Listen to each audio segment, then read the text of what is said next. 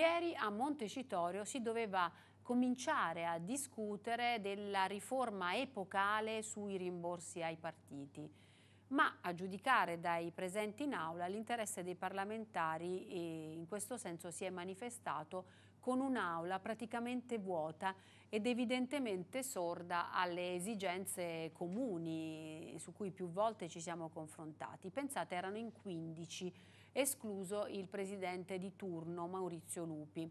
Per dirla come si deve, i partiti si sono nuovamente dati in pasto all'antipolitica, eh, dimostrando purtroppo di voler ad ogni costo mantenere privilegi e benefici a discapito di chi è invece massacrato e tartassato ogni giorno.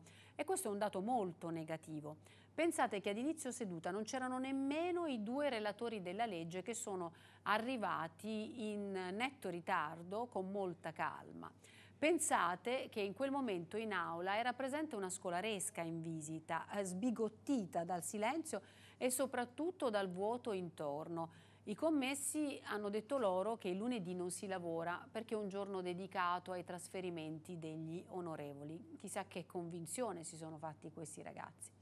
Pensate un po' e fate le vostre considerazioni. Oggi che gli assenti si giustificheranno asserendo che la loro presenza in aula non era indispensabile perché tutti eh, ci chiederemo a questo punto se si poteva fare a meno di loro ieri, perché non tutti gli altri giorni?